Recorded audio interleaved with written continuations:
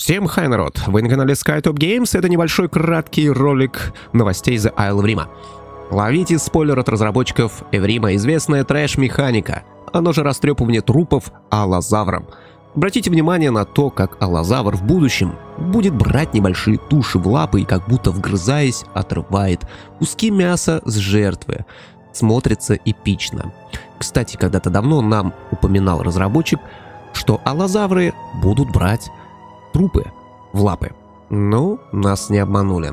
Короче, также есть новость о том, что разработчики планируют расширить границы карты на островах в океане, добавить туда пресную воду.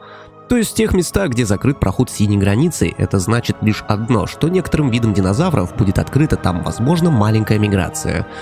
Но, скорее всего, таким как птернодоном и, возможно, будущим водным. Если в океанах еще добавят рыб, пишите в комментах, кто это может быть.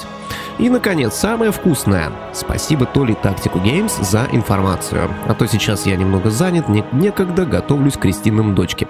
В общем, продолжение ролика, где нам показывали Дьябло с Ютарапторами. Простите, Овнирапторами. Два месяца назад вроде. Помните, в конце на человеческой камере был запечатлен то ли Рекс, то ли Алазавр. Было много споров. Я считал лично, что это Рекс. Давайте посмотрим.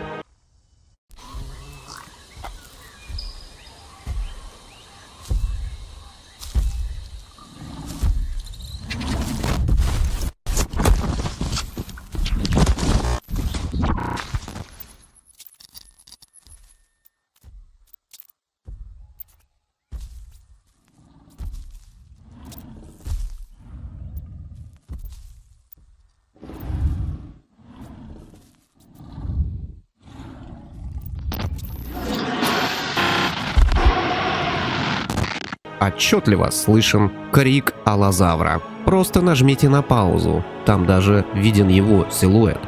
Что это может значить? Следующий на выход аллозавр? Пишите ваши догадки. Палец вверх, подписка на канал обязательно. Хорошего выживания The Isle Эврима.